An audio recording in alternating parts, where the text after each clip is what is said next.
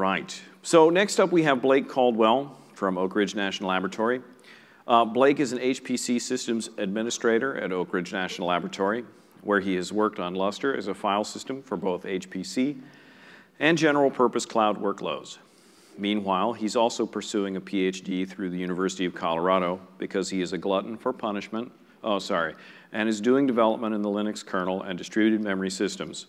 He hopes to find where system-level improvements can lead to efficiency in managing large-scale systems. Dude, you're doing both at the same time. That's awesome. Solid, respect. Um, I'm really looking forward to this talk, so I'm, I'm glad that you submitted uh, this abstract. Uh, ladies and gentlemen, Blake Caldwell from Oak Ridge.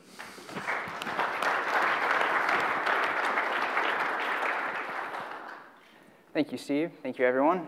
So everyone doing well after uh, that pretty delicious lunch there? Doing pretty good myself. So I want to talk about running Docker on Lustre. I don't want to just talk about running parts of what your Docker workload uses, parts of that data on Lustre, but actually the whole thing on Lustre. So this is kind of ironic that uh, the Docker the Docker community really champions the idea of stateless application architecture, but Docker itself is very stateful in the way it manages artifacts. So this is um, this is something that you want to tackle with instead using a distributed file store to manage artifacts.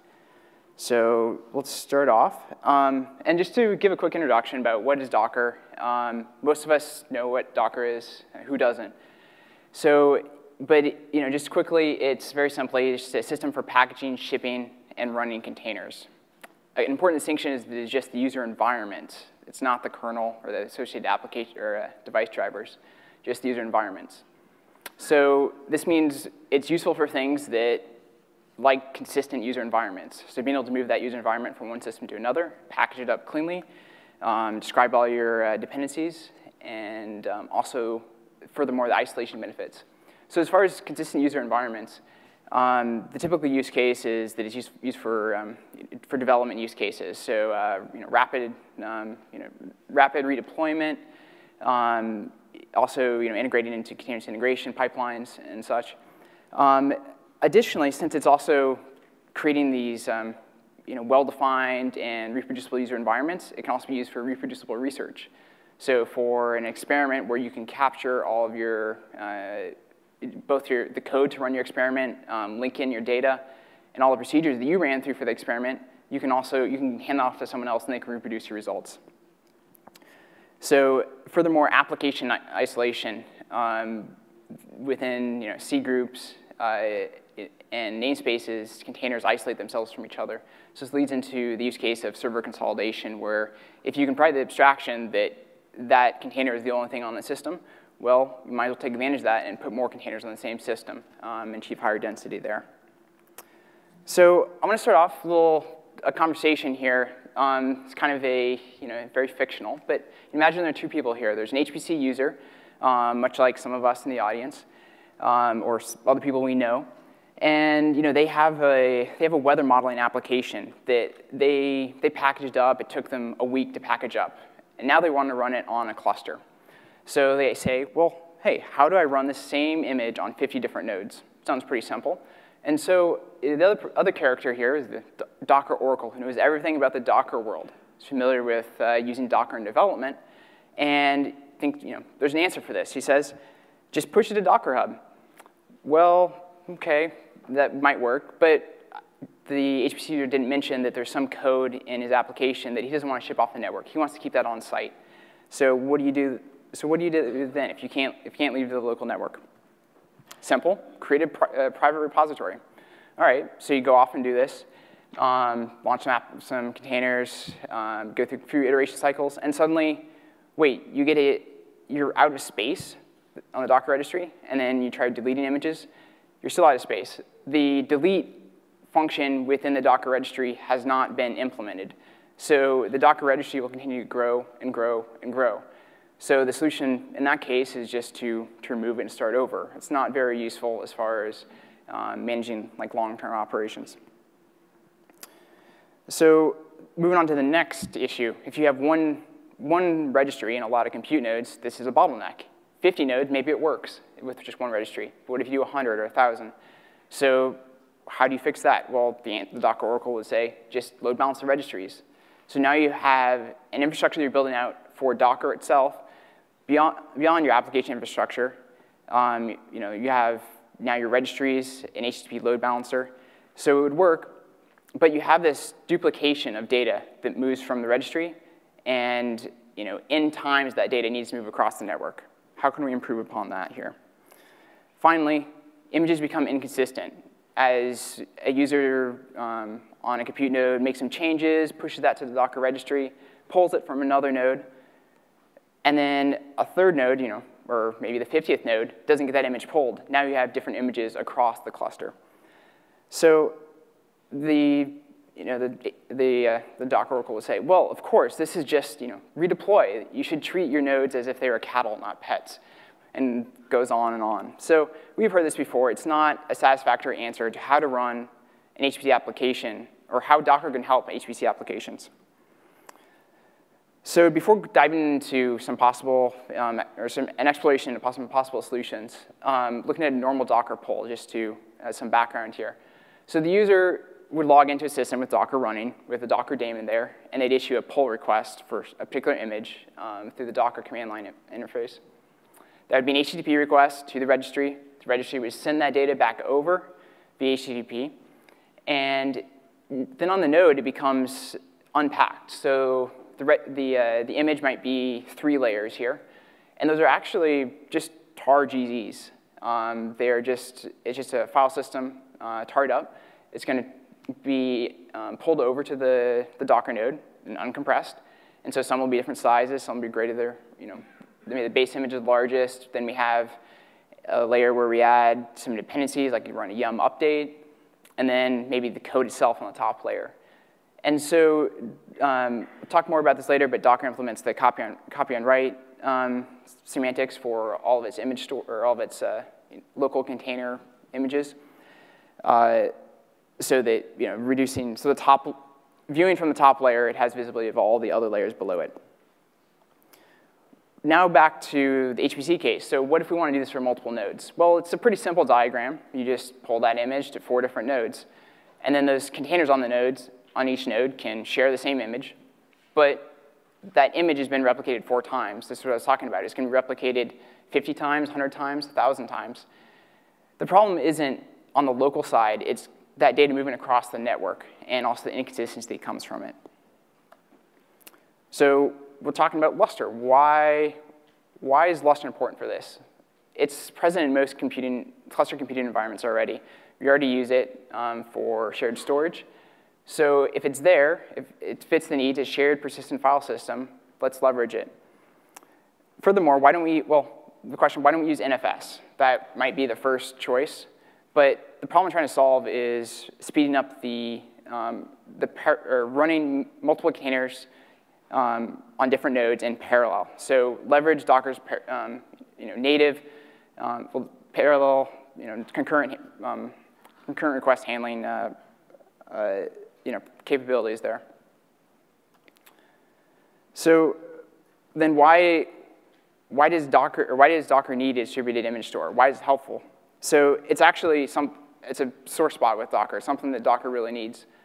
Docker means or deployment rather, means you're waiting a lot of I.O. So you'll pull an image and you see the, the images you know, come across the pulls, but you spend most of the time waiting for it to extract that image from its tarred up file onto disk. So yes, Docker containers are very fast. They run, your application runs on bare metal, but most of that time you spend during that you know, supposedly fast iteration cycle, you're spend waiting on disk I.O. It's very wasteful.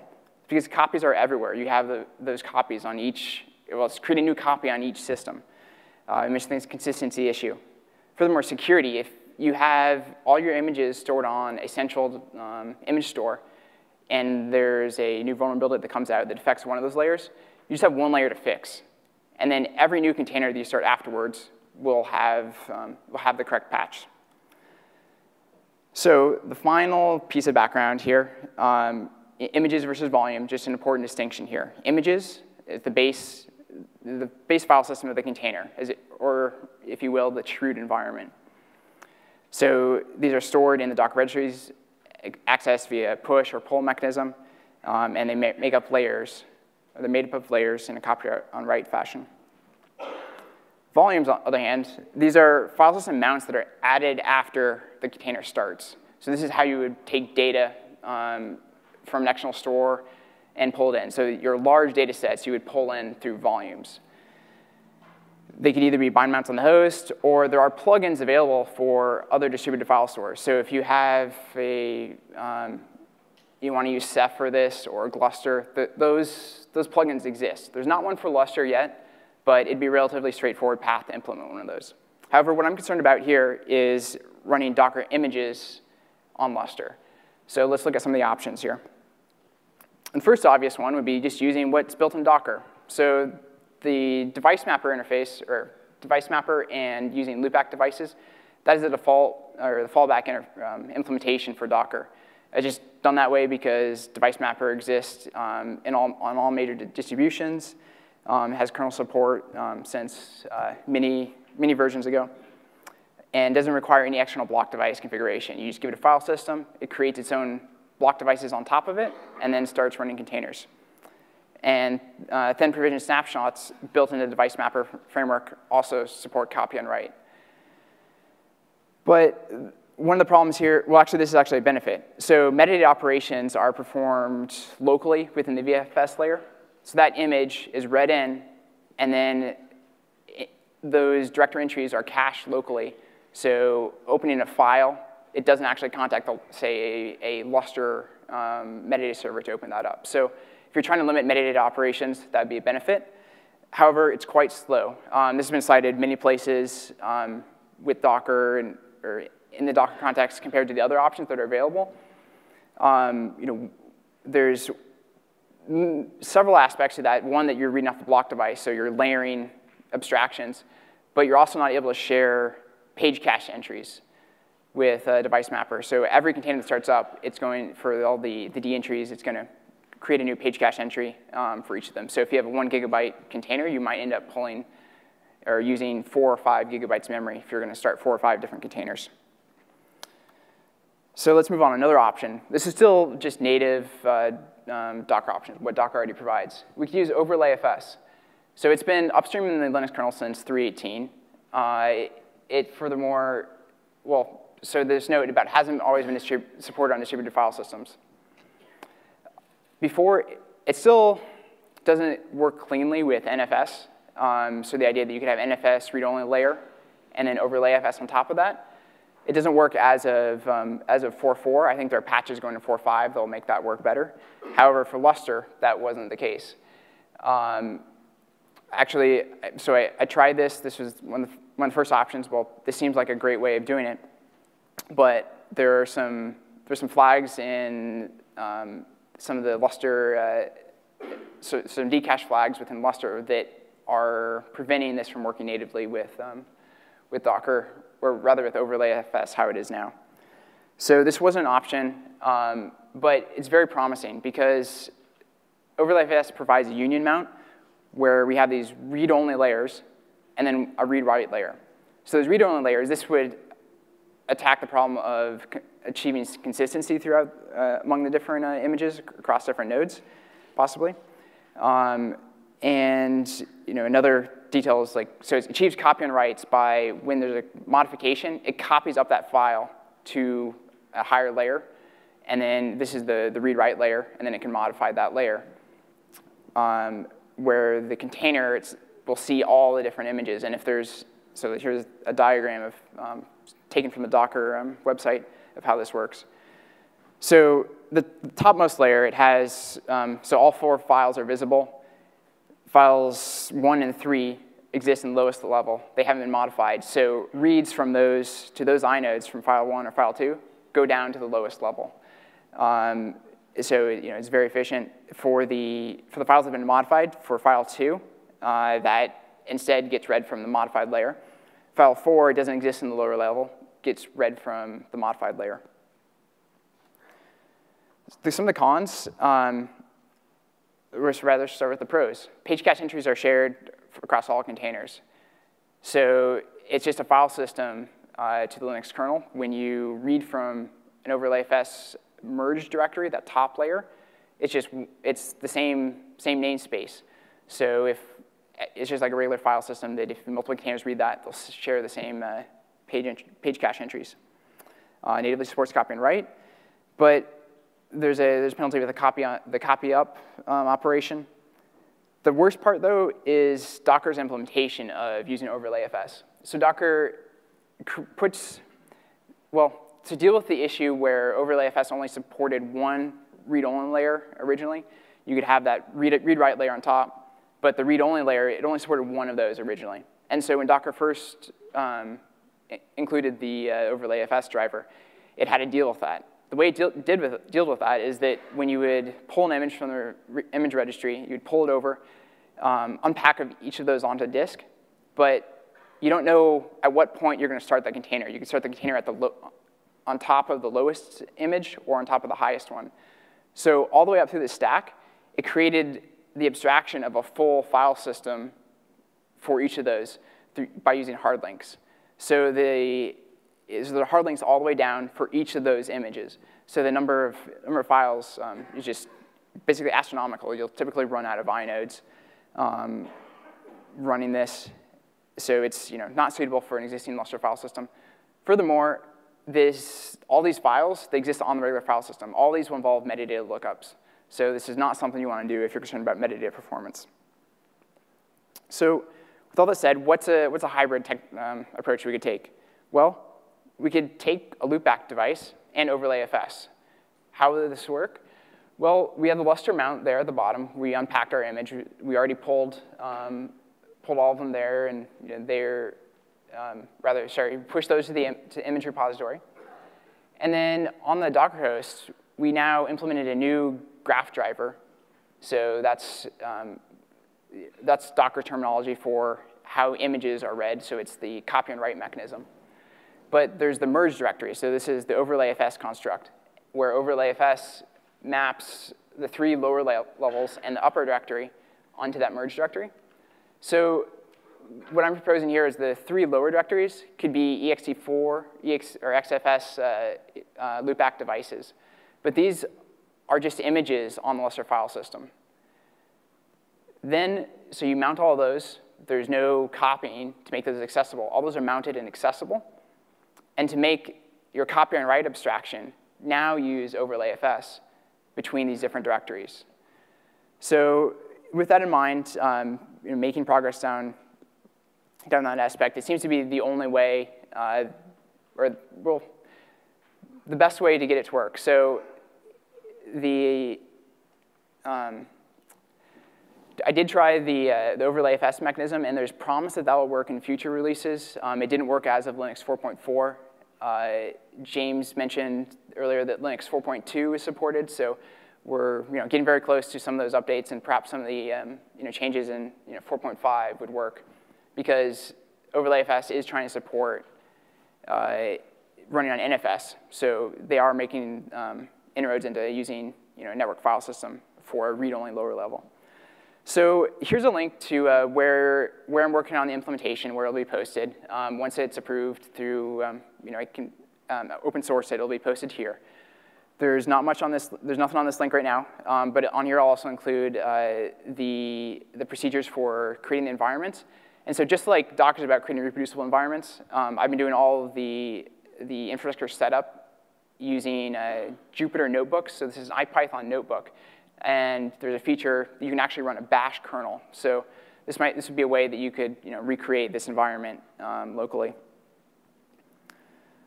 So you know, with that in mind, some of the conclusions here. So loopback devices on Lustre could support cluster computing workloads. They're not, you know, it's it's not there yet. There's some still drawbacks, definitely drawbacks. Um, but this would be this would be a case where you have no image pulls. You just run your Docker container. You start up a node, is purely stateless. You start it up, it doesn't even even know anything other than the Lustre mount and the path where um, where the Docker images are stored. And the images have already been you know, pulled there by another node or perhaps by an administrator. Uh, read-only layers on the file system, that's an important aspect that if you control how images get put on the file system, then you control the consistency, the security aspect. But the downside is that here we're looking at a block device. We were talking about uh, using loopback block devices. Uh, and now you would have multiple systems mounting those, those block devices. So there needs to be a read-only, um, um, or, um, Docker needs to enforce some read-only um, operations there so, so that you know, if you do mount that, the, the Docker graph driver itself will not write to any of those lower levels. The solution I mentioned above with uh, temp, or before on the earlier slide was with tmpfs as an upper layer. That's where you would have, this would be purely ephemeral. So none of your, you wouldn't be storing any state there, that if you want to actually, if the user actually wants to write state, they should write that on a volume. That's what Docker volumes are meant for. Uh, this, uh, this tmpfs, that would be for something like files in slash etc or slash var that are needed to run store process IDs or just local state information. Uh, now the work that remains, uh, the Docker, the upstream um, OverlayFS driver currently only, only uses uh, one, uh, one read-only layer. There's been some attempts to support multiple read-only layers, but there's, that's, that only is going to have, um, the promise of that's limited. So the number of layers that you can write, right, or that you can mount right now within Docker is limited to one page worth, um, and someone found that out to be about 38 different layers. So you know that that'd be a maximum. You are allowed to stack OverlayFS layers, so you could have 38 layers in overlay, OverlayFS mount, and then mount another um, OverlayFS mount on top of that. But you can only do that twice. That's a um, hard-coded limitation in, in the kernel currently. Furthermore, there's uh, LU6585 uh, for the LL loop driver. So that's a, the work there was done earlier. Um, I don't believe it's, uh, it, you know, it's been updated a long time, but the, the ticket is about updating support for that driver and bringing it um, you know, into use in you know, Lustre in a current version. So that's an area where there could be several more enhancements where um, you know, we could improve the performance to the block device itself that you know, that could also that could be a limitation. Um, and so I want to make a comment there that uh, Robert Read made a comment on there on this ticket how Docker could be used for, or how this could, how that could be used for the Docker use case. So I mean, I think that that's the you know people are have seen that. This is the, that's the place to continue this work. Um, with that, I just want to conclude with some resources, uh, some you know very good uh, deep dives into Docker storage drivers um, and then some links onto um, recreating the reproducible environment, so for actually testing this out and running uh, Docker or on OverlayFS. So with that, I would like to open up for questions.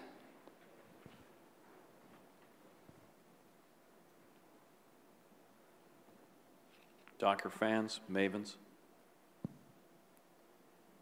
Yes, no? All right. Blake, thank you very much.